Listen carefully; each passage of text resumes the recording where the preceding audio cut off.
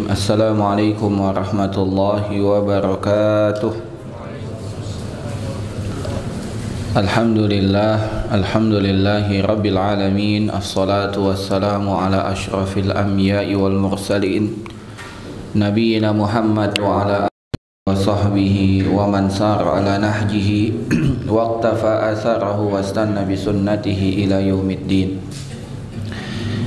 Jamaah sekalian, bapak-bapak dan para ikhwan yang semoga dirahmati oleh Allah Subhanahu wa taala. Alhamdulillah pada malam hari ini Allah Subhanahu wa taala masih melimpahkan nikmat yang begitu banyak kepada kita.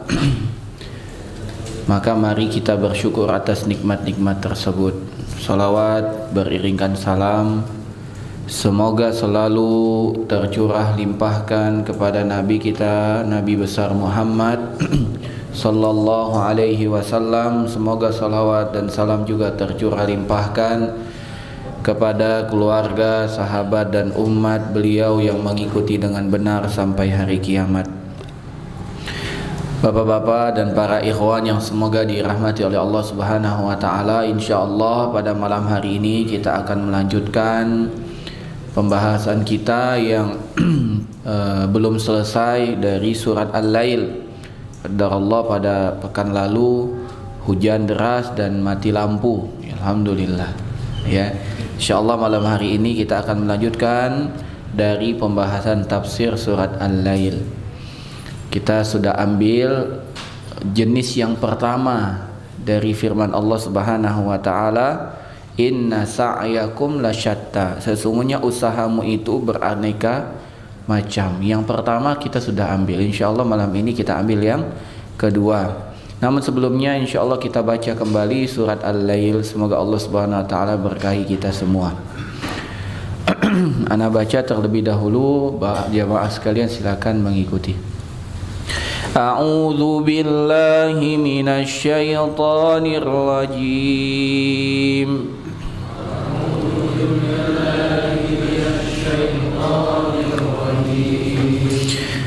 بسم الله الرحمن الرحيم. بسم الله والليل إذا يغشى. والنهار إذا تجلى.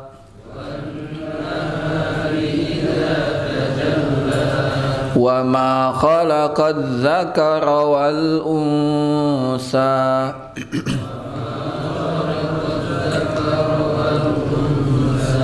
إن سعيكم لشتى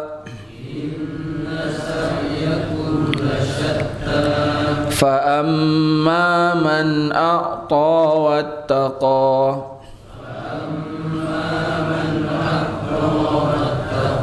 وصدق بالحسنى.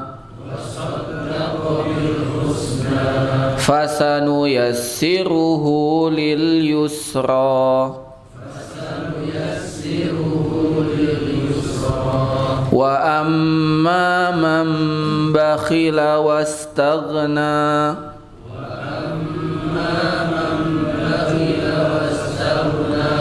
وكذب بالحسنى. فسنيسره للعسرى. وما يغني عنه ماله إذا تردى.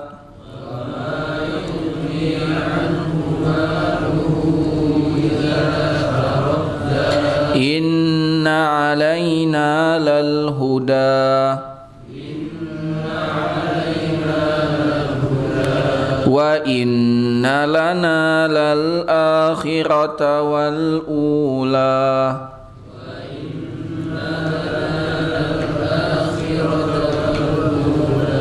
فأنذرتكم نارا تلظى.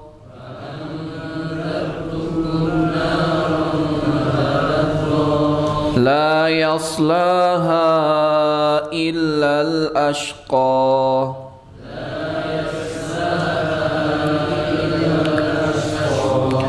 الذي كذب وتولى.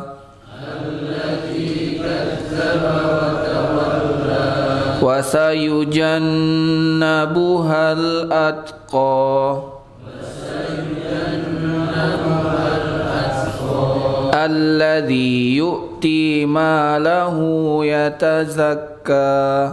الذي يؤتي ماله يتزكى وما لأحد عنده من نعمة تجزى.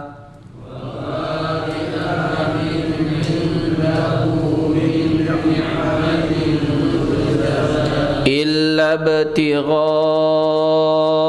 وجه ربه الأعلى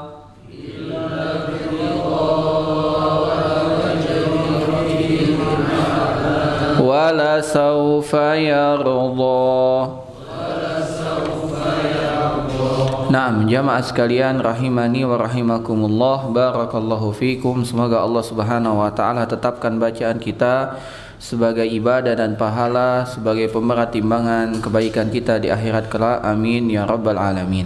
Jamaah sekalian rahimani wa rahimakumullah surat Al-Lail sebagaimana yang telah kita sampaikan adalah surat ke-92 di dalam Al-Qur'an terdiri dari 21 ayat dan dia termasuk surat Makkiyah yang Allah Subhanahu wa taala turunkan sebelum hijrahnya Nabi Muhammad sallallahu alaihi wasallam. Kita telah jelaskan di permulaan sampai firman Allah Subhanahu wa taala eh, fasanu yassirhu lil yusra maka akan kami mudahkan baginya jalan menuju kemudahan. Siapa mereka? Kata Allah Subhanahu wa taala adalah yang pertama fa amma man a'ta. Adapun orang yang memberikan hartanya di jalan Allah dan bertakwa. Wa saddaqa bil husna dan dan dia e, membenarkan percaya dengan al husna dengan surga Allah Subhanahu wa taala. Maka Allah Subhanahu wa taala mengatakan fasanu yassiruhu lil yusra. Maka Allah Subhanahu wa taala akan berikan jalan kemudahan untuk dia yaitu kebahagiaan. Maka dalam ayat ini berupa anjuran yang begitu banyak tentang tentang anjuran kita bersedekah kata Allah Subhanahu wa taala fa man a'ta wattaqa dan sejatinya sebagaimana kita telah singgung pada pertemuan yang lalu orang yang bersedekah jauh lebih banyak mendapatkan manfaat daripada orang yang menerima sedekah. Jauh lebih bermanfaat. Kenapa? Kata Allah Subhanahu wa taala, sedekah itu adalah hutang yang Allah Subhanahu wa taala pinjaman yang Allah Subhanahu wa taala akan kembalikan dengan pahala yang lebih baik lagi nanti di akhirat. Demikian juga firman Allah di dalam surat Al-Baqarah ayat 261. Kata Allah Subhanahu wa taala, "Masalul ladzina yunfikuna amwalahum fi sabilillahi kamasali habbah ambatat sab'a sanabila fi kulli sumbulatin mi'atu habbah wallahu yudha'ifu liman yasha wallahu wasi'un alim." Kata Allah Subhanahu wa taala, permisalan orang yang menginfakkan hartanya di jalan Allah seperti sebutir biji. Yang dari satu butir itu menunjuk menumbuhkan tumbuhan yang ber, yang uh, yang terdiri dari tujuh tangkai. Yang setiap tangkainya ada seratus biji. Dari satu biji membuahkan tujuh ratus biji. Artinya dari satu sedekah yang kita uh, berikan Allah Subhanahu wa taala akan lipat gandakan menjadi tujuh ratus kali lipat tentu yang kita harapkan sebagaimana yang akan kita bahas adalah al-husna. Yang kita harapkan adalah kebaikan surga. Bukan 700 itu pengali di dunia, bukan. Namun yang kita harapkan 700 kali itu adalah ganjaran pahala di akhirat. Dunia, andai pun kita dengan bersedekah mendapatkan dunia dan seisinya jamaah sekalian, dunia dan seisinya ini adalah kecil. Kata Nabi sallallahu alaihi wasallam, Uh, laukana laukanatid dunya ta'dilu indallahi janabah janaha ba'udatin masaqat kafiran syarbata ma'in. Kalau seandainya dunia ini sebanding di sisi Allah atau setara di sisi Allah dengan sayap seekor nyamuk sebanding bukan lebih berat sebanding dengan sayap seekor nyamuk maka Allah tidak akan berikan apa? Minuman kepada orang kafir namun buktinya Mereka bukan hanya dapat seteguk air, bahkan mereka yang punya ya pabrik air begitu. Dan banyak sekali kekayaan-kekayaan yang dimiliki oleh orang-orang orang kafir. Ini membuktikan bahwasanya dunia itu tidak berharga, tidak sebanding dengan sayap nyamuk. Andai sebanding orang kafir tidak dikasih minum. Andai sebanding, bukan andai lebih berat nggak sebanding. Ini sebanding pun tidak. Demikian juga kata Nabi wasallam, la dunya ahwanu min hadza. Dunia ini lebih hina daripada seekor bangkai kambing. Ya, jadi dunia ini tidak ada harganya. Maka sangat rugi sekali kalau kita bersedekah minta ganjaran balasan dunia. Rugi kenapa? Sedikit. Dan dunia ini cepat sekali hilangnya. Dan kenikmatan dunia itu pasti menyisakan kelelahan. Buktikanlah kalau tidak percaya. Kenikmatan apa pun yang kita rasakan di dunia, maka akan menyisakan kelelahan. Apa saja? Silakan buktikan sendiri. Apa pun kenikmatan yang kita rasakan di dunia, pasti akan meninggalkan kelelahan. Katanya tidur itu nikmat. Coba banyak tidur, capek, Pak. Katanya makan itu enak, coba banyak makan, capek. Katanya main bola itu enak, coba main bola terus. Capek apalagi kenikmatan ya. Katanya bulan madu itu enak ah cobalah praktekan. Ca capek. Tidak ada yang tidak capek. Dunia ini menyisakan apa? Kelelahan. Katanya punya anak itu bahagia. Coba tanya yang baru punya anak. Ah capek. Ya. Betapa banyak wanita ingin hamil. Betul? Yang tidak hamil pun sedih. Kapan hamil? Begitu hamil ca capek tidak ada satupun di dunia ini sebuah kenikmatan melainkan menyisakan kelelahan. Maka jangan sampai kita mengharapkan dunia. Kemudian Allah mengatakan wallahu yudhaifu liman yasha. Allah melipat gandakan lebih banyak lagi dari 700 itu bagi hamba-hambanya yang Allah kehendaki. Allah Maha luas lagi Maha mengetahui. Demikian juga Allah Subhanahu wa taala berfirman di dalam hadits qudsi kata Allah Subhanahu wa taala ya bena Adam anfiq unfiq alaik. Wahai anak Adam berinfak aku akan infak kepada dirimu. Kalau kita berinfak rezeki kita lancar, Pak. Ya bena Adam anfiq unfiq alaik dan ingat rezeki yang Allah berikan kepada kita bukan hanya materi. Terlalu banyak rezeki yang tidak yang bukan berupa materi yang Allah berikan kepada kita. Salah satunya apa? Teman yang baik Satunya apa? Tempat ibadah yang memudahkan kita untuk beribadah kepada Allah. Itu rezeki semua. Kita diberikan rezeki berupa apa? Istri yang kona'ah. Istri yang sabar menerima kekurangan kita. Itu nikmat. Nikmat sekali. Nikmat sekali. Demikian juga kata Nabi Shallallahu Alaihi Wasallam tidak ada satupun pagi kecuali ada dua malaikat yang turun. Satu berkata, Ya Allah berikanlah ganti bagi orang yang berinfak hari ini. Satu lagi mengatakan, Ya Allah berikanlah apa? Kebangkrutan bagi orang yang tidak berinfak hari ini. Nah infak yang dimaksud bukan hanya infak yang sunnah, termasuk infak yang wajib. Infak seorang suami kepada istri juga termasuk. Jadi bukan hanya infak yang yang sunnah. Kalau kita yang sunnah berarti doa kita double-double didoakan oleh malaikat. Demikian juga kata Nabi SAW kepada seorang kakak yang mengeluh adiknya belajar dia menafkahi. Dia yang kerja hasil kerjanya buat membiayai adiknya. Dia komplain kepada Nabi ya Rasulullah aku bekerja sedangkan adikku duduk saja cuma dengar hadismu. Kata Nabi SAW la'allaka turzaku bihi. Bisa jadi kamu itu dapat rezeki karena adikmu. Artinya bisa jadi lancarnya rezekimu karena adik menuntut ilmu. Kalau seandainya kau tidak membiayai adik menuntut ilmu, bisa jadi rezekimu tidak selancar sekarang. Maka berinfak atau memberikan biaya untuk anak kita, keluarga kita, atau siapa pun yang menuntut ilmu merupakan salah satu jalan untuk meraih kemudahan rezeki. Ini jalan-jalan untuk meraih rezeki. Demikian juga kata Nabi wasallam, "Mana qasad sadaqatun min mal." Sedekah itu sama sekali tidak mengurangi harta. Bahkan sedekah itu akan memberkahi harta kita. 6. Demikian juga kata Nabi SAW, barang siapa yang ingin melembutkan hatinya, maka hendaklah dia lakukan dua hal. Siapa yang ingin hatinya lembut, maka hendaklah dia lakukan dua hal. Yang pertama, memberikan makan orang miskin. Yang kedua, mengusap kepala anak yatim. Artinya menyayangi, membimbing anak yatim.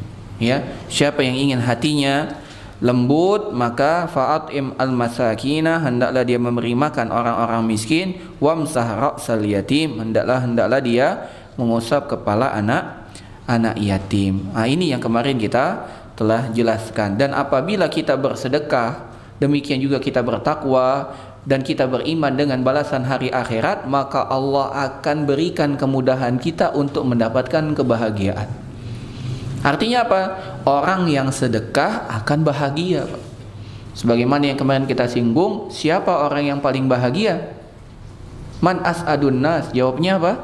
Man as'adan nas. Orang yang mampu membahagiakan orang lain.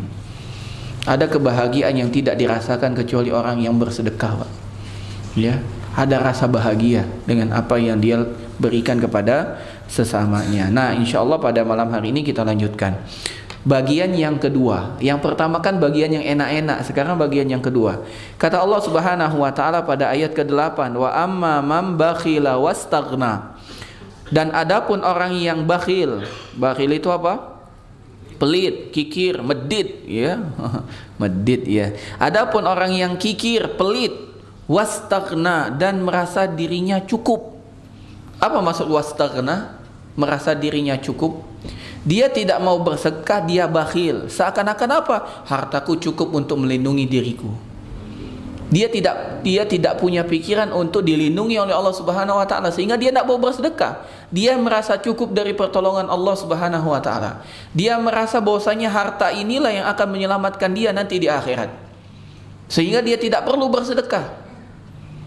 Maka kata Allah Subhanahu wa taala, "Fa amma man bakhila wastaghna." Adapun orang yang kikir, orang yang bakhil, orang yang pelit dan merasa dirinya cukup, tidak perlu pertolongan dari Allah lagi. Wa kadzdzaba bil husna dan mereka atau dan dia mendustakan al husna. Al husna itu artinya kebaikan. Kebaikan yang maksud adalah surga, kebaikan akhirat. Dan dia tidak beriman dan tidak percaya dengan al husna yaitu balasan uh, surga maka Allah Subhanahu wa taala mengatakan fasanu yassiruhu lil usra maka Allah akan mudahkan baginya jalan kesulitan artinya jalan kesengsaraan Allah akan jadikan dia apa jalan keseng kesengsaraan maka jamaah sekalian kalau sunnah berinfak membawa kebahagiaan kalau pelit membawa apa kekayaan tidak membawa kesengsaraan membawa kesengsaraan. Mungkin dari kecil dulu, anak kecil dulu ada lagu anak-anak, ya, menabung. Yuk kita nabung katanya gitu. Sekarang definisi nabung itu ya kita punya uang receh gitu nabung nabung nabung nabung. Sekarang kita luaskan makna menabung. Menabung di dunia itu untuk dunia. Sekarang kita menabung untuk akhirat dengan apa? Sedekah. Kata Nabi Wasallam harta manusia itu cuma tiga. Harta manusia itu cuma cuma tiga. Yang pertama apa yang dia makan jadi kotoran. Apa yang dia nikmati, apa saja yang bisa dia nikmati, semuanya akan menjadi kotoran. Yang kedua, apa yang dia pakai akan usang, hancur, apa saja.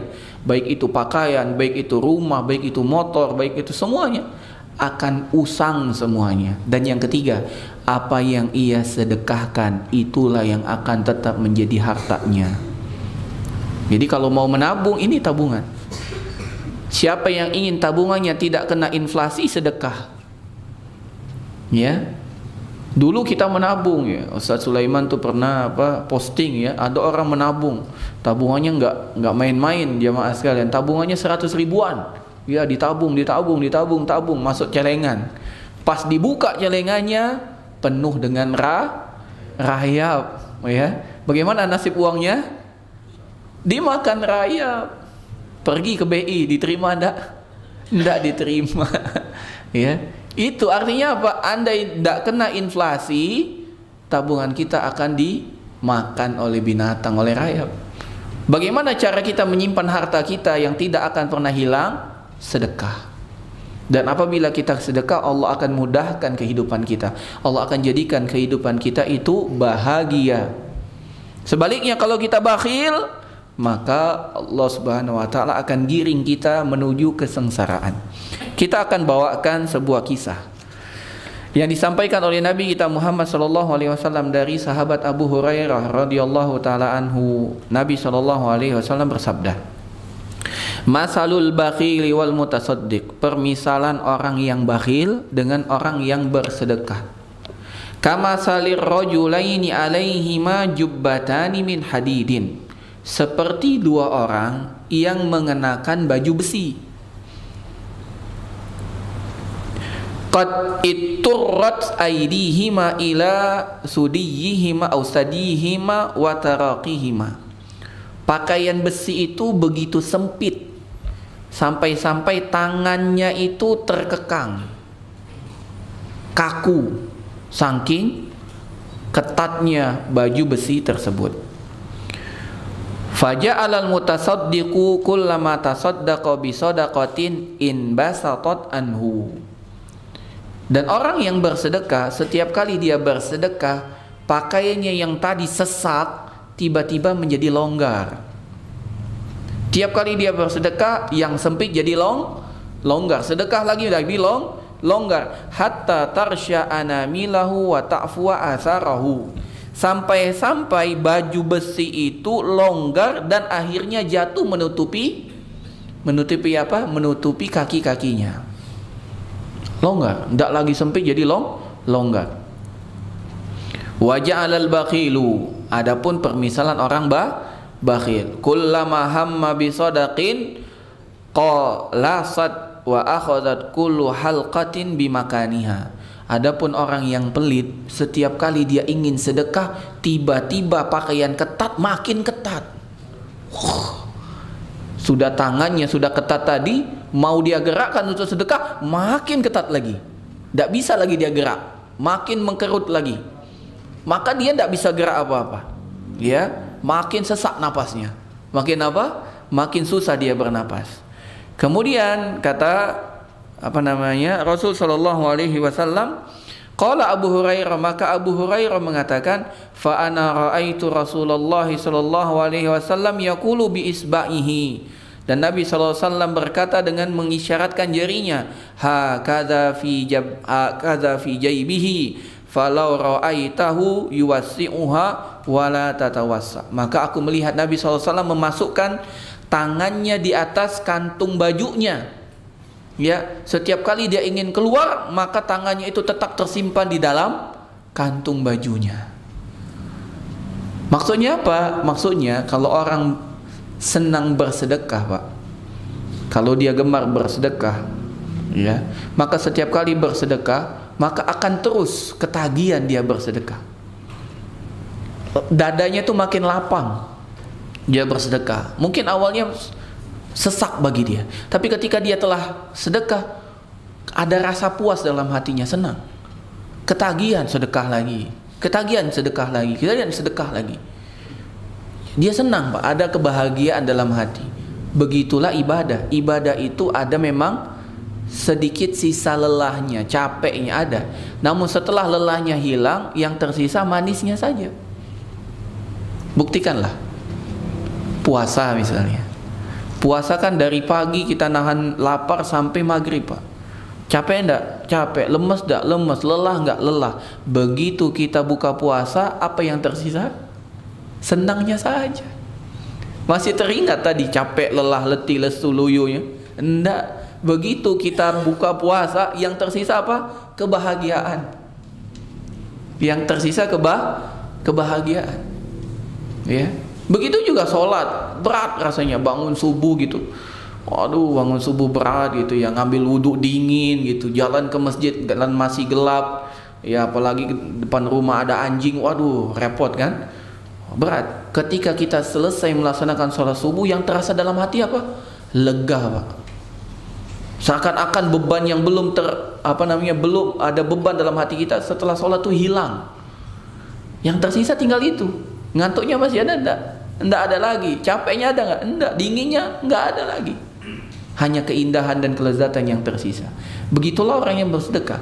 Setiap kali dia berhasil mengalahkan keinginannya untuk tidak bersedekah, akhirnya dia bersedekah, ada rasa bahagia. Sampai akhirnya dia betul-betul lapang. Sampai akhirnya batu baju besi itu menutupi kakinya. Berkata salah seorang ulama, yang dimaksud dengan menutupi kakinya adalah apa? Ibnu Battal mengatakan yang dimaksud dengan menutup kakinya Allah menutupi semua aurat-auratnya. Allah menutupi semua kesalahan-kesalahannya. Allah tutupi semua kekurangan-kekurangan orang itu. Contoh apa? Contoh kalau kita bersedekah kepada seseorang Pak. Sedekah gitu. Kira-kira orang yang kita kasih sedekah ngelihat kita ada nggak kekurangan? Nggak ada kekurangan. Oh kita dibaikin terus tidak ada yang teringat apa di yang terngiang-ngiang oleh dia apa? Orang ini baik, orang ini dermawan, orang ini baik, orang ini dermawan. Begitu tak? Kita aja lah menerima kebaikan. Ketika ada orang itu yang kita lihat apa? Kebaikannya saja atau keburukannya? Kebaikannya saja. Andai orang itu ada kesalahan kepada kita, masih nggak kita mau komplain panjang lebar dengan dia? Pasti kita anggap enggak lah dia terlalu banyak kebaikan dengan anak maafkan saja. Betul enggak? Sebaliknya orang yang bakhil Orang yang bakhil. Setiap kali dia bersedekah sempit dadanya. Nanti kalau aku sedekah hilang uangku. Padahal ini bisa diinvestasikan, bisa diputar, bisa jadi modal, bisa ini, bisa ini, bisa ini. Akhirnya sedekah ndak? Ndak sedekah. Makin sempit dadanya, makin susah, makin ruwet, makin runyam. Ketika ada orang lewat kepada dia dan orang itu tahu dia orang kaya, orang punya uang, ya, dan dia tidak mau bersedekah, ada ndak rasa segan apa rasa hormat dengan orang itu tidak ada. Tidak ada rasa hormat dengan orang itu. Kaya kok tidak pernah berbagi. Yang ada begitu. Ya yang terlihat dari orang itu apa? Kebaikan atau keburukan? Keburukannya semua. Walaupun orang itu pasti ada kebaikan tapi yang nampak oleh orang apa? Keburukan. Karena dia bakhil. Karena dia dia bakhil. Begitulah kata Nabi SAW permisalan orang yang bakhil dengan orang yang bersedekah. Kemudian Imam uh, As-Sa'di ahli tafsir beliau mengatakan wa minal asbabil lati tuzilul ham wal gham wal qalaq al ihsanu ilal khalqi bil qawli wal fi'li wa anwa'il ma'ruf. Kata beliau salah satu sebab yang dapat menghilangkan tiga penyakit. Alhammu. Apa itu alhammu? Kesedihan. Wal ghammu apa itu al ghammu? Kegalauan. Wal qalaku apa itu kolak kegelisahan. Obat untuk menghilangkan apa? Kesedihan kegalauan kegelisahan cuman satu. Apa? Berbuat baik kepada makhluk. Cuman itu obatnya. Kita pengen hilang galau hilang sedih, hilang gelisah, berbuat baik kepada makhluk. Dengan apa? Dengan ucapan, dengan perbuatan, dengan harta. Dengan apa pun yang kita bisa kepada berikan kepada makhluk nanti hilang. Allah akan hilangkan dada kita dari kesedihan, kegundahan, kegalauan, kegelisahan. Ya. Kemudian Imam Ibnul Qayyim melanjutkan penjelasannya dari hadis ini. Beliau mengatakan walamma kana al-bakhilu mahbusan anil ihsani mamnu'an anil birri wal khairi wa kana jazaohu min jinsi amalihi.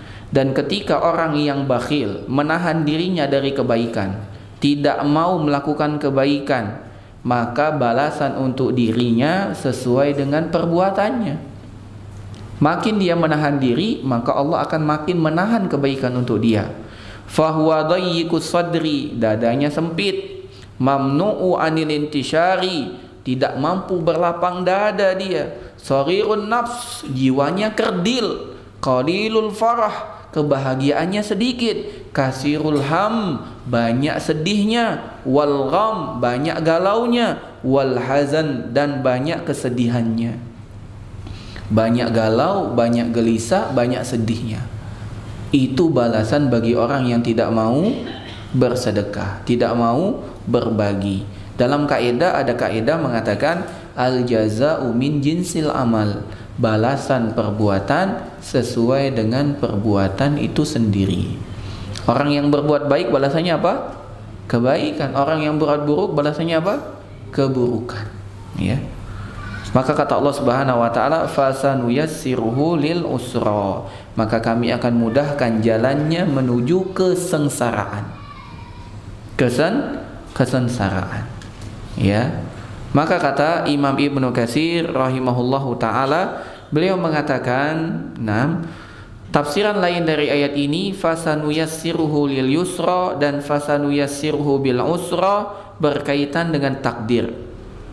Mereka yang beriman akan dimudahkan jalannya menuju kebaikan dan surga. Sementara orang yang tidak beriman maka akan dimudahkan jalannya menuju neraka dan keburukan.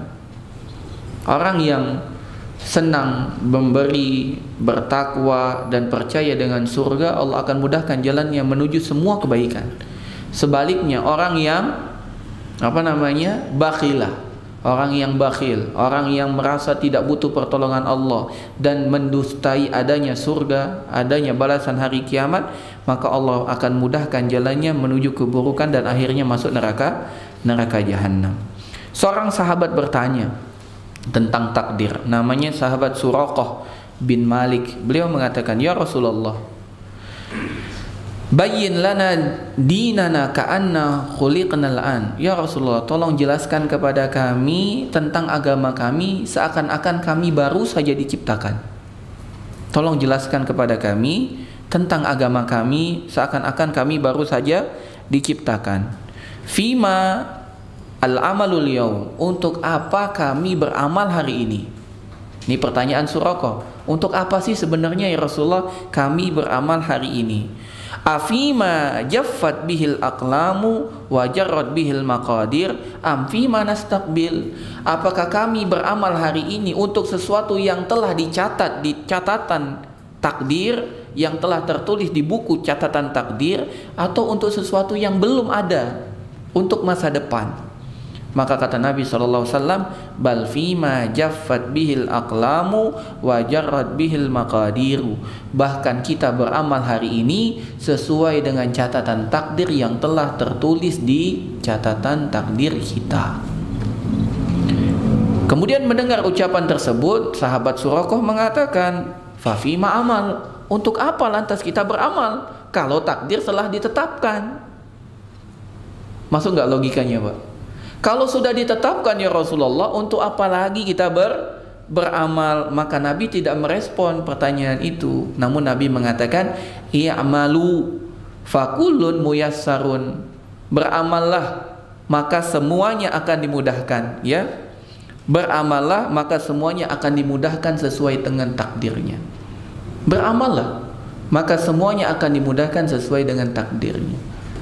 Jawaban itu mengandung makna yang begitu dalam jamaah sekalian rahimani wa rahimakumullah. Kenapa?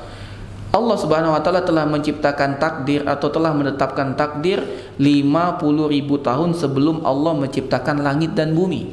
Sebagaimana diriwayatkan oleh Imam Muslim, kata Nabi sallallahu alaihi wasallam, kata wallahu maqadiral khalaiq qabla ay yakhluqas samawati wal ardi khamsina alfasana. Allah telah menentukan takdir semua makhluk sebelum Allah menciptakan langit dan bumi 50 ribu tahun. 50 ribu tahun sebelum adanya langit dan bumi Allah telah menentukan takdir. Lantas untuk apa kita beramal? Maka jawabannya adalah apakah kita telah mengetahui takdir kita? Kalau seandainya kita telah mengetahui misalnya anak taufik jalanmu adalah misalnya masuk surga atau masuk neraka di situ kita baru mengatakan untuk apa beramal Betul enggak? Karena sudah tahu anak akan masuk surga ya untuk apa beramal? Santai-santai saja. Pasti masuk surga kan begitu. Atau anak masuk neraka. Ya untuk apa anak getol ibadah, belajar gitu, toh juga akhirnya masuk neraka? Wajar kita mengatakan begitu. Kalau kita sudah tahu takdir kita. Pertanyaannya, ada nggak satu makhluk pun yang sudah tahu takdirnya? Tidak ada. Tidak, tidak ada. Untuk itulah kita beramal. Karena kita belum tahu takdir kita. Dan dalam kaedah kita, dalam agama kita, kita diharuskan untuk berhusnuzon. Harus berhusnuzon, harus berbaik sangka.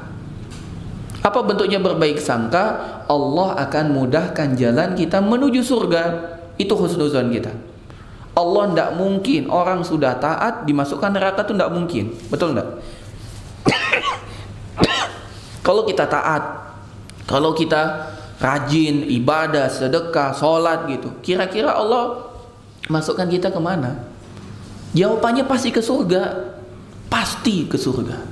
Kalau kita betul dalam beribadahnya, kan begitu jawabannya. Contohnya saja, mungkin ada di antara kita, ah Ustadz ini ngarang saja. Kan Ustadz juga tidak tahu takdir anak apa. Bisa jadi anda sudah getol jam apa namanya beribadah dan lain sebagainya, ujung-ujungnya anda masuk neraka juga, kan begitu. Begini jamaah sekalian, coba kita bayangkan kita saja nih, kalau kita punya toko misalnya, kita punya toko, kita punya dua karyawan, satu karyawan kita rajin sekali, luar biasa, datang sebelum waktunya, pulang se setelah lama dari jam kerjanya. Misalnya masuk jam 7, pulang jam 5. Jam 6 dia telah nongkrong di toko kita. Bahkan dia yang buka toko kita. Ya, bahkan dia bukan hanya bersihkan toko kita, rumah kita juga disapuin sama dia. Jam 5 sebelum dia pulang, dia bersihkan toko, dia tutup tokonya, dia lap semua kaca-kacanya, bahkan rumah kita pun kita sapu. Disapu oleh dia. Itu satu. Satu lagi datangnya telat. Masuk jam 7, harusnya masuk jam 7 dia datang setengah 8. Harusnya pulang jam 5, setengah 4 udah hilang. Kira-kira kita sayang dengan yang mana? Yang satu atau yang kedua? Yang sah? Yang yang pertama. Pertanyaan. Yang lebih sayang apakah kita lebih sayang dengan pegawai kita apa Allah lebih sayang kepada kita? Tentu jawabannya Allah lebih sayang dengan kita. Buktinya kenapa Allah lebih sayang dengan kita? Kita kalau melihat ya pegawai kita mencuri, anak yakin dan anak jamin kita tidak bisa maafkan. Mungkin kita tidak laporkan ke polisi, tapi pasti nggak kita pecat, pasti kita pecat. Untuk apa kita melihara orang yang nggak jujur? Ini yang ketahuan dia nyuri, yang nggak ketahuan berapa kali? Kan begitu. Namun Allah Subhanahu Wa Taala berapa kali kita mencuri hak-haknya? Berapa kali kita menggunakan milik Allah kepada maksiat kepadanya? Berapa kali? Pernah tidak Allah cabut nikmat itu dari kita? Allah berikan kita mata. Berapa kali kita menggunakan mata ini untuk khianat? Kita curi nih untuk melihat perkara haram. Pernah nggak Allah cabut mata kita? Pendengaran kita nih. Ini kan amanah dari Allah, hak milik Allah ini dititipkan kepada kita. Berapa kali kita curi untuk mendengarkan yang haram? Langsung dicabut nggak oleh Allah? Eh pegawaiku, hei makhlukku, ya kamu melanggar, langsung cabut ya gitu. Kan enggak itu menunjukkan Allah Maha sayang dengan kita. Kira-kira kalau seandainya ada orang yang seorang hamba taat, rajin, kira-kira ke mana Allah akan balas dia? Ke surga atau neraka? Ke surga Allah. Makanya Nabi mengatakan i'malu fakulun muyassarun lima khuliqalahu. Beramal semua akan dimudahkan sesuai dengan takdir penciptaannya. Karena kita tidak tahu takdir kita, maka berhusnuzonlah kepada Allah. Beramallah dengan amalan yang dapat mengantarkan kita kepada surga.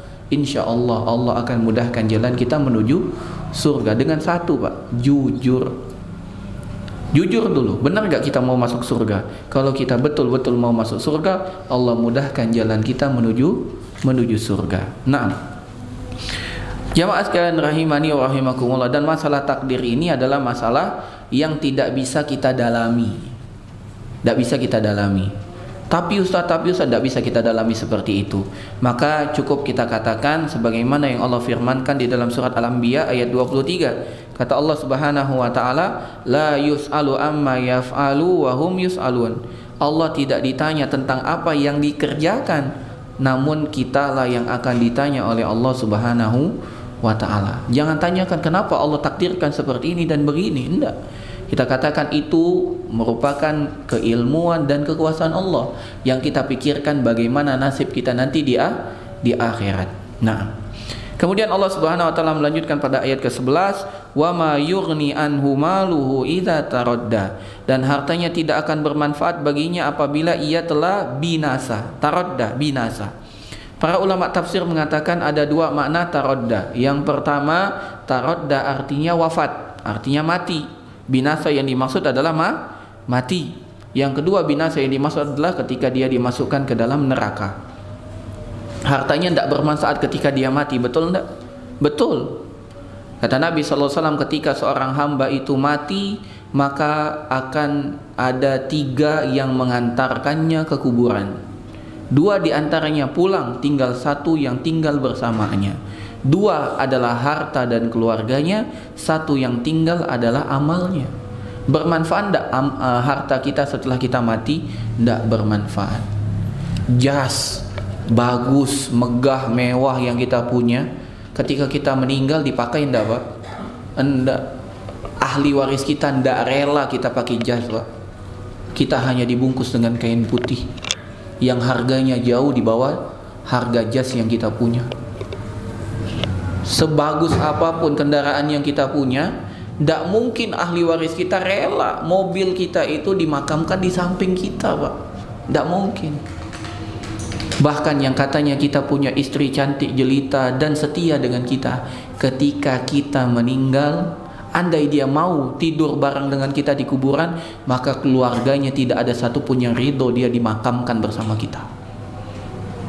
Andai dia, pokoknya aku sehidup semati dengan suamiku, keluarganya tidak ada yang ridho pak. Diangkut jangan. Betul tidak maka yang tersisa cuma satu apa? Amal kita. Makanya Allah mengatakan fama yurni anhu maluhu ila taradda. Sudah masuk waktu Isya kita dengarkan azan terlebih dahulu. Wassallallahu ala nabiyina Muhammad wa ala alihi wa sahbihi ajma'in. Bismillahirrahmanirrahim. Alhamdulillah. Assalatu wassalamu ala rasulillah Wa ala alihi wa sahbihi wa mawala. Wa la halla wa la quwata illa billah. Kata Allah subhanahu wa ta'ala Wa ma yugni anhu maluhu idha taraddah Dan hartanya tidak bermanfaat baginya apabila dia telah binasa. Kata para ulama tafsir di sini Ma, wa ma Itu ada dua maknanya. Makna yang pertama adalah ma al istifhamiyah. Ma yang bermakna kata tanya. Wa ma yughni anhu maluhu idza taradda. Dan apakah hartanya bermanfaat apabila ia telah binasa? Jawabannya apa? Tidak. Yang kedua ma artinya adalah ma an nafiyah ma yang menafikan yang artinya apa? Wa ma yughni anhu maluhu idza dan hartanya tidak bermanfaat apabila dia telah binasa. Dan dua-duanya menunjukkan atas makna yang menghinakan bagi yang punya harta. Jamaah sekalian rahimani wa rahimakumullah, ketika kita hidup di dunia, kita memiliki dua kesempatan atau dua pilihan kita dapat menggunakan harta kita untuk kebaikan akhirat kita atau kita tidak gunakan harta itu untuk kebaikan akhirat kita. Namun ketika kita telah binasa, tidak ada yang lain kecuali harta itu akan menjadi bumerang bagi kita. Maka kata Nabi saw, la tazalu qadama 'abdin yaumal qiyamah hatta yus'ala an arba' jika anak Adam itu telah wafat dan akan dibangkitkan di hari kiamat dan dikumpulkan di padang mahsyar maka tidak ada satupun anak Adam yang dapat bergerak. Tidak ada satupun yang dapat bergeser kakinya di hari kiamat. Sampai ditanya tentang empat perkara. Salah satunya adalah tentang harta. Kata Nabi SAW min aina iktasabahu wa fima anfaqahu ada dua pertanyaan tentang harta. Dari mana ia dapatkan dan ke mana ia belanjakan? Pertanyaan pertama saja sudah bikin repot, Pak. Dari mana kita dapatkan? Ini pertanyaan yang demikian sulit. Dari mana kita dapatkan? Amin halal, amin haram. Apakah dari yang halal atau dari yang haram atau dari yang syubhat? Itu saja sulit kita kita jawab.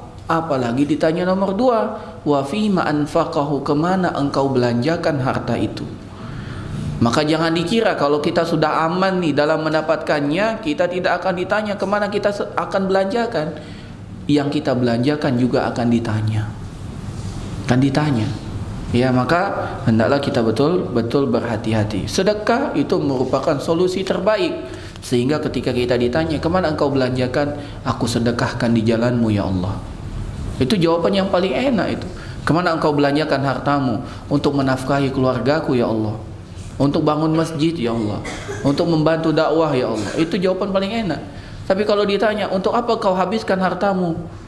Untuk karaoke ya Allah. Kan gimana jawabnya? Repot kita. Untuk apa hartamu digunakan? Untuk nyawer. Nah, itu gimana jawabnya? Kan susah.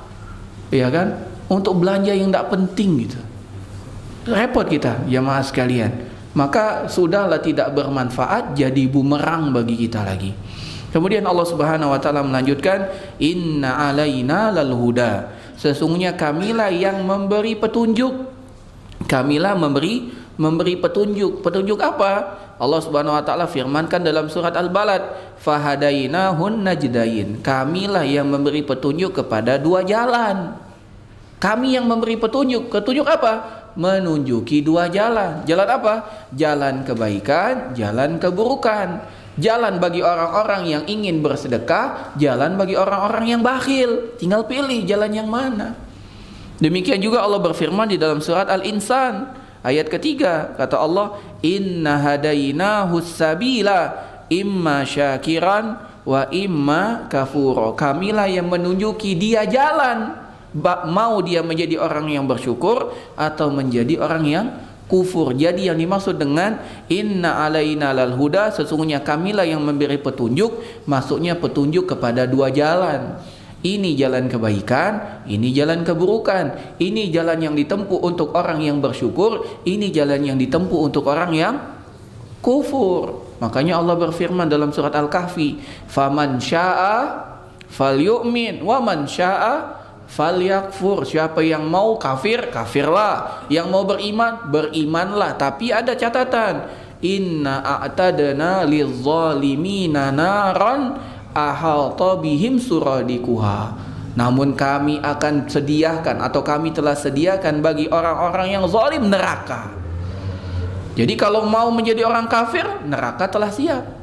Tapi kalau kita mau jadi orang yang beriman maka Allah akan mengatakan fasanuyassiruhu lil yusra. Maka kami akan memberikan jalan kemudahan untuk dirinya. Kemudian Allah melanjutkan pada ayat ke-13 wa inna lana lal akhirata wal ula.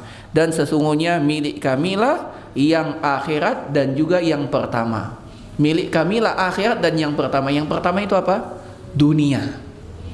Dan milik kamilah akhirat dan dunia kalau kita telah betul-betul memahami bahwasanya dunia dan akhirat milik Allah, lantas apalagi yang dapat kita lakukan kecuali tunduk dan patuh kepada Allah Subhanahu wa taala.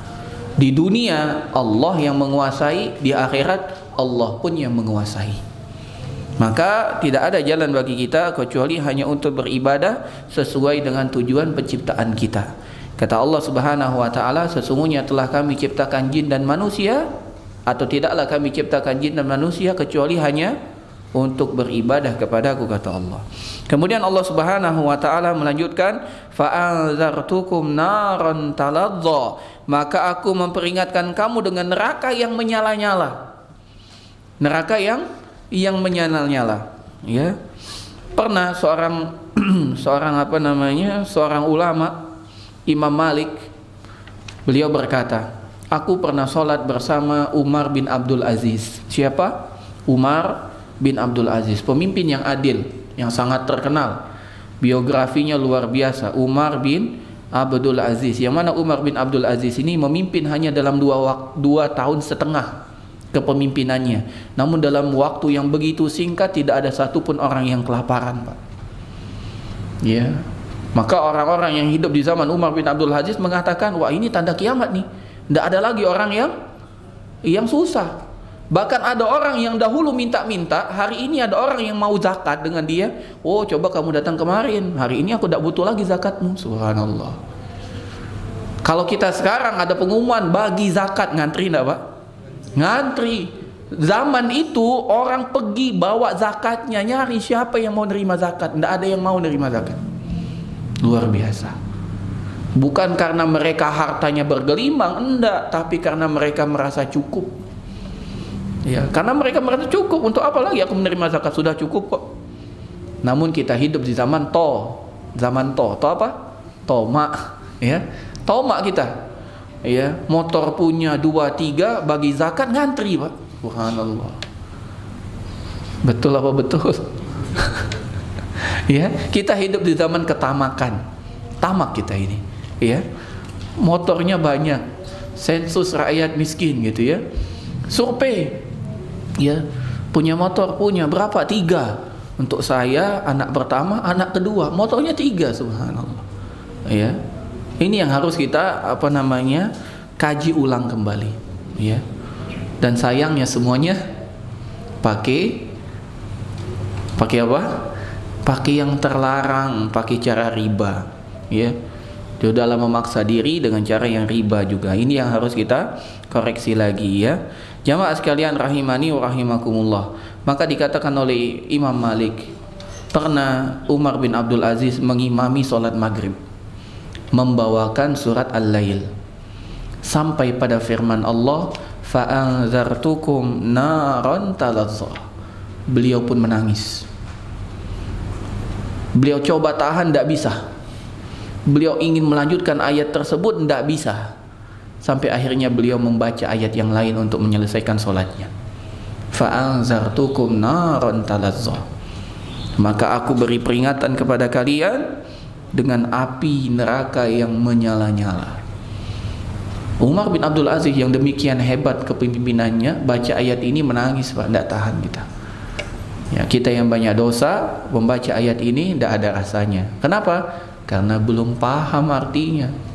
Nah, semoga setelah ini kita juga dapat merenungi dan memahami makna ayat ini. Kata Allah Subhanahu wa taala, "Fa'anzartukum naran talazza." Maka aku memperingatkan kamu dengan neraka yang menyala-nyala. Sebagaimana diriwayatkan oleh sahabat Nu'man bin Bashir, suatu hari Nabi SAW mengatakan di semua orang. Kata Nabi SAW, Anzar tukum nar, anzar tukumun nar, anzar tukumun nar. Aku peringatkan kepada kalian dari api neraka. Aku peringatkan kepada kalian dari dahsyatnya api neraka. Aku telah peringatkan kepada kalian tentang kengerian api neraka.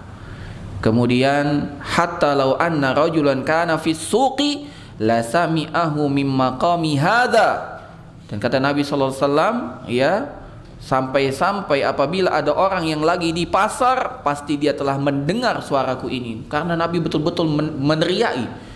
Anzar tukumun nar anzar tukumun nar katanya begitu Aku betul-betul peringatkan kalian dari api neraka. Aku betul-betul berikan peringatan kepada kalian dari api neraka. Saking semangatnya Nabi SAW memperingatkan dan Nabi begitu sayang kepada umatnya jangan sampai masuk neraka. Saking seriusnya beliau hatta waqa'at khamisatun kanat ala atiqihi inda rijlaihi. Selendang yang beliau pakai saking semangatnya dia berteriak memperingatkan sampai selendangnya jatuh tidak beliau rasakan. Itu Nabi kita Muhammad sallallahu alaihi wasallam. Kenapa? Karena neraka itu begitu mengerikan, Pak. Ya. Kata Nabi sallallahu alaihi wasallam, "Inna ahwana ahlin nari azaban." Sesungguhnya penghuni neraka yang paling ringan siksaannya. Yaumal qiyamah pada hari kiamat kala la rajulun yaitu seorang laki-laki tudau fi akhmasi qadamaihi diletakkan di telapak kakinya jamrotani dua bara api dari api neraka. Ditaruh di bawah telapak kakinya apa? Dua bara api dijadikan sendal. Yakli minhuma dimaruhu yang menyebabkan otaknya mendidih. Itu paling ringan. Kata Nabi SAW inna ahwana ahlin nari azabah. Sesungguhnya azab yang paling ringan yang diterima oleh penghuni neraka dipakaikan bara dari api jadi sendal yang menyebabkan otaknya mendidih. Itu paling ringan. Bagaimana dengan orang yang berada di fi asfali fi darkil asfali minan nar di keraknya neraka? Gimana? Ya ngeri sekali Pak. Dan kita telah pelajari allati tatali'u alal afidah yang mana neraka itu sekali sentuh tembusnya ke hati Pak. Ya jadi neraka itu panasnya oh sampai sini nih rasanya. Dan tidak ada istirahat. Ya. Fazuku falan nazidakum il azab. Rasakan kami tidak akan bertambah tidak kami tidak akan menambahkan kecuali azab untuk kalian. Ya. Kemudian Allah Subhanahu wa taala mengatakan la yaslaha illal ashqa. Yang hanya dimasuki oleh orang-orang yang ashqa yang paling celaka orang yang paling celaka. Siapakah orang yang paling celaka tersebut? Allazi kadzdzaba wa tawalla, yaitu yang mendustakan kebenaran dan berpaling dari keimanan. Itu yang akan merasakan neraka neraka jahanam. Ya, jamaah sekalian rahimani rahimakumullah dan pernah juga ana sampaikan di majelis di masjid ini bahwasanya Nabi sallallahu alaihi wasallam pernah bersabda, "Yu'ta bi an'ami ahli dunya min ahli nar." Akan didatangkan orang yang paling nikmat hidupnya di dunia namun dia akhirnya masuk neraka. Akan didatangkan di hari kiamat kelak orang yang paling enak hidupnya di dunia, paling enak. Namun dia adalah orang yang difonis masuk neraka fayusbaru finnari sabratan maka dia akan dicelupkan ke dalam api neraka dengan satu celupan summa yuqalu maka setelah dia dicelupkan ditanya ya bena adam wahai fulan hal ra'aita khairan qattu apakah engkau pernah merasakan kebaikan walaupun sedikit apa kata dia marra uh, nah katanya fayaqulu la wallahi ya rabbi Wallahi demi Allah tidak sedikit pun dari kebaikan pernah aku rasakan ya Allah. Padahal di dunia adalah orang yang paling bahagia hidupnya. Satu celupan yang melupakan. Celupan apa? Celupan neraka. Menghilangkan semua kenikmatan surga, eh, menghilangkan semua kenikmatan dunia. Maka betul-betullah kita mawas diri dan waspada. Kemudian Allah Subhanahu wa taala melanjutkan wasa yujannabuhal atqa alladhi yu'ti malahu yatazakka. Wasa yujannabuhal atqa alladhi yu'ti malahu yatazakka. Kata Allah Subhanahu wa taala dan akan dijauhkan dari neraka orang yang paling bertakwa alladhi yu'ti malahu yatazakka yang menginfakkan hartanya untuk membersihkan dirinya. Kata para ulama ahli tafsir bahkan semua ulama ahli tafsir ayat ini diturunkan khusus kepada sahabat Abu Bakar As-Siddiq subhanallah. Kenapa? Karena sahabat Abu Bakar As-Siddiq adalah adalah seorang sahabat yang luar biasa dalam bersedekah jamaah sekalian. Apa kata Allah? Alladzi yu'ti malahu yatazakka yang memberikan hartanya untuk mensucikan dirinya. Bahkan berkata Imam Ibnu Katsir rahimahullahu taala semua ulama sepakat bahwasannya ayat ini turun untuk Abu Bakar As-Siddiq. Orang-orang kafir pernah mengatakan kepada Abu Bakar, ya Allah subhanahu eh, apa namanya Abu Bakar melakukan semua kebaikan dari berbagi apa e, memerdekakan budak, kemudian berinfak, itu karena ada hutang yang harus Abu Bakar bayar. Artinya hutang budi. Ya pastilah dia melakukan itu karena hutang hutang budi. Maka Allah langsung bantah pada ayat berikutnya. Apa kata Allah? Wa mali ahadin indahu min ni'matin tujza. Dan tidak ada seorang pun yang memberikan kenikmatan pada dirinya yang harus dia balas. Tidak ada dia berbuat baik murni hanya kepada Allah Subhanahu wa taala bukan karena balas kebaikan, bukan karena balas budi bukan.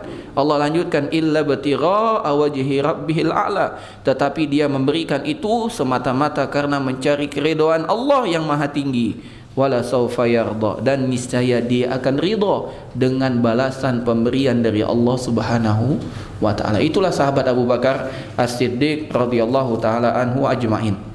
Ya. Jamaah sekalian rahimani wa rahimakumullah, Nabi sallallahu alaihi wasallam pernah bersabda. Nabi sallallahu alaihi wasallam pernah pernah bersabda. Kata Nabi sallallahu alaihi wasallam pernah suatu pagi Nabi sallallahu alaihi wasallam bersabda, "Hal asbaha ahadun minkumul yawma sha'ima?" Kata Nabi bertanya setelah sholat subuh kepada sahabatnya atau pada suatu pagi Nabi pernah bertanya kepada sahabatnya, siapa ya yang pagi ini ya dalam kondisi berpuasa? Maka fasakatu maka semua sahabat itu terdiam. Faqala Abu Bakar maka Abu Bakar mengatakan ana ya Rasulullah aku puasa ya Rasulullah. Satu. Nanya lagi Rasulullah SAW Summa qal Hal ada ahadun minkumul yawma mariyadha Siapa yang pagi ini telah mengunjungi orang yang sakit? Fasakatu maka semua jamaah Semua sahabat terdiam. Faqala Abu Bakar Ana ya Rasulullah. Kata Abu Bakar Aku ya Rasulullah Aku telah mengunjungi orang sakit. Semua Nabi bertanya lagi untuk yang ketiga Hal tasaddaqa ahadum minkumul yawma bisadaqatin Siapa ya yang di antara kalian pagi ini sudah bersedekah Fasakatu maka sahabat yang lain terdiam Faqala Abu Bakar, "Ana ya Rasulullah, aku ya Rasulullah, aku sudah bersedekah hari ini." Ya. Fadohika, maka Nabi pun tersenyum. Hatta ista'la sampai kelihatan apa gigi seri beliau. Ya. Sumakal maka Nabi bersabda, "Wallazi nafsi biyadih, demi zat yang jiwaku ada di tangannya." Ma jama'ahunna fi yaumin wahidin illa mu'minun. Tidaklah orang yang mengumpulkan semua kebaikan ini kecuali adalah orang yang betul-betul beriman. Wa illa dakhala bihinnal jannah dan kecuali dia akan masuk ke dalam surga. Siapa dia?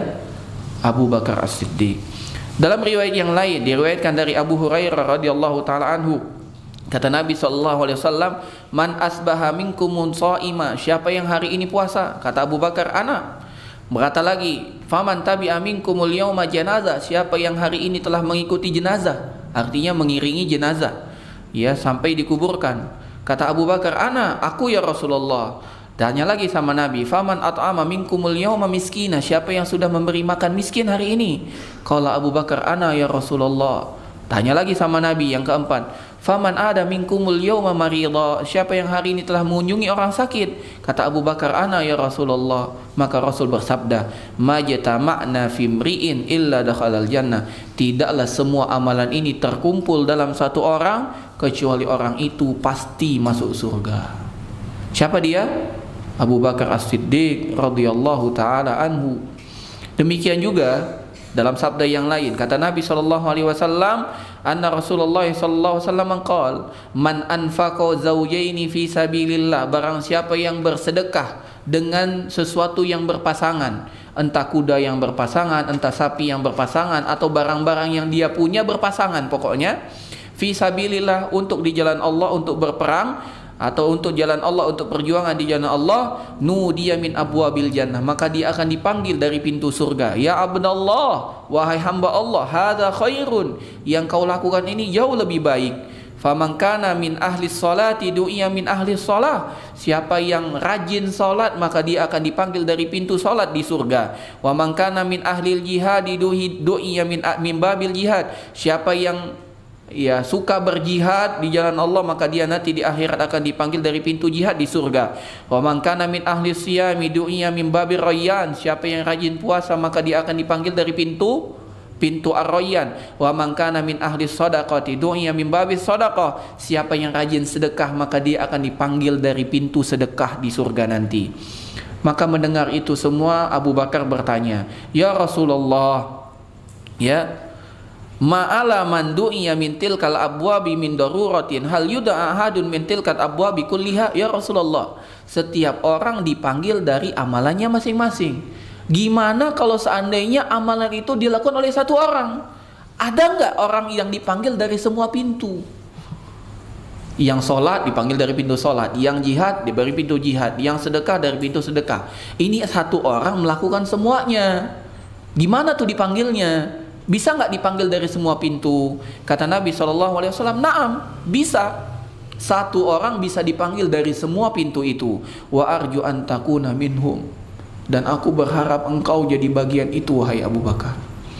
Harapannya Nabi. Itu merupakan doa dan insya Allah apa yang Nabi Wasallam harapkan merupakan akan dikabulkan oleh Allah Subhanahu Wa Taala. Maka para sahabat ya eh, maka jamaah sekalian para ulama mengatakan Abu Bakar dijamin masuk surga dari dalil-dalil yang ada. Ya inilah sahabat Abu Bakar As-Siddiq radhiyallahu taala anhu. Ya manusia terbaik setelah Rasulullah sallallahu alaihi wasallam. Dihabiskan semua hartanya untuk menolong di jalan Allah bukan hanya hartanya Pak, jiwanya pun dia siapkan untuk di jalan Allah. Tidak ada satupun orang yang menemani Rasul hijrah dari kota Mekah kota Madinah kecuali Abu Bakar As-Siddiq. Yang mana orang-orang Quraisy mengatakan siapa yang dapat menemukan Muhammad hidup atau mati akan mendapatkan galasan apa namanya e, ganjaran e, apa namanya e, sayembara dengan hadiah yang begitu besar dan Abu Bakar siap menemani Nabi Shallallahu Alaihi Wasallam. Artinya apa? Abu Bakar siap siap mati. Itulah jamaah sekalian yang dapat kita ambil dari tafsir surat Al-Lail. Semoga Allah Subhanahu wa taala jadikan kita orang-orang yang mendengar dan mampu mengamalkan dan mengambil yang terbaik dari apa yang telah kita dengar. As'alullah an yaj'alana mimman yastami'una al-qawla fayattabi'una ahsana fa innahu waliyyu dzalika wal qadiru alaihi. Wallahu alam bisawab yang dapat anda sampaikan lebih dan kurang kami mohon maaf. Pada Allah kami mohon ampun. Mungkin kita cukupkan. Dah ada tanya jawab lebih dan kurang kami mohon maaf. Kita tutup dengan doa kafaratul majlis. Subhanakallahumma wa bihamdika asyhadu an la ilaha illa anta astaghfiruka wa atubu ilaik. Assalamualaikum warahmatullahi wabarakatuh